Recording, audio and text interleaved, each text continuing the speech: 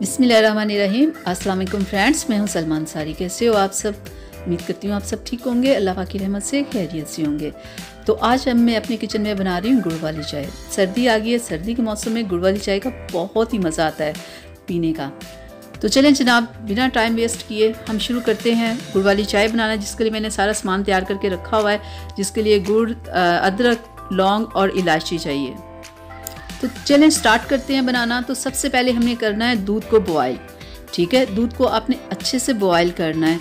क्योंकि अगर आप अच्छे से बॉयल नहीं करोगे तो चाय का जायका नहीं बनेगा। इसके लिए गाढ़ा और अच्छे से बॉयल और बिल्कुल गर्म दूध हमें चाहिए।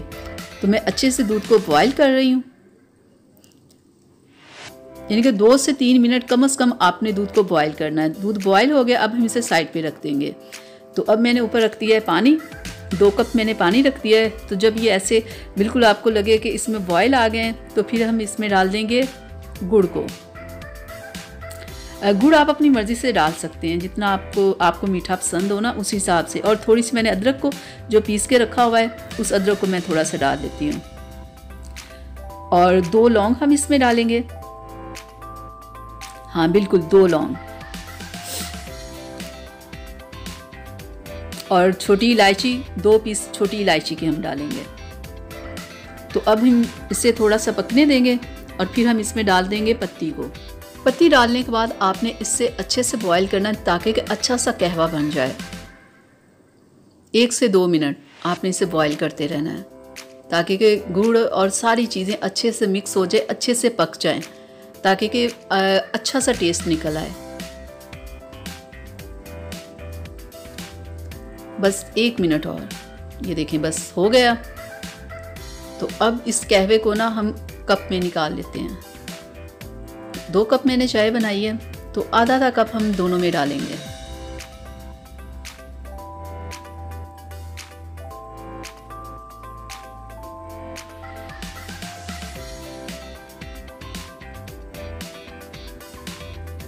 हाँ बस इतना। जो हमने दूध बॉयल किया हुआ है वो अब हम इसमें डाल देंगे।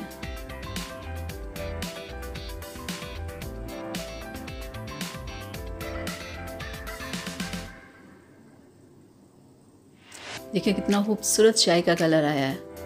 कितनी अच्छी खुशबू आ रही है इलायची की ना। तो ये लें जनाब, तैयार है हमारी आज की चाय। सर्दियों के लिए ये बेहतरीन चाय होती है। गुड़ वाली चाय पीने से एक तो ठंड नहीं लगती, एक इसका टेस्ट भी बहुत अच्छा होता है।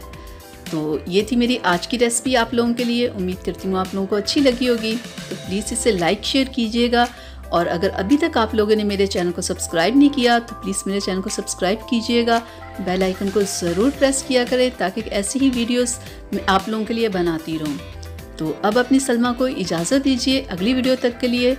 अपना बहुत सारा ख्याल रखिएगा। मुझे अपनी दुआओं में याद रखिएगा। अल्लाह हाफिज़।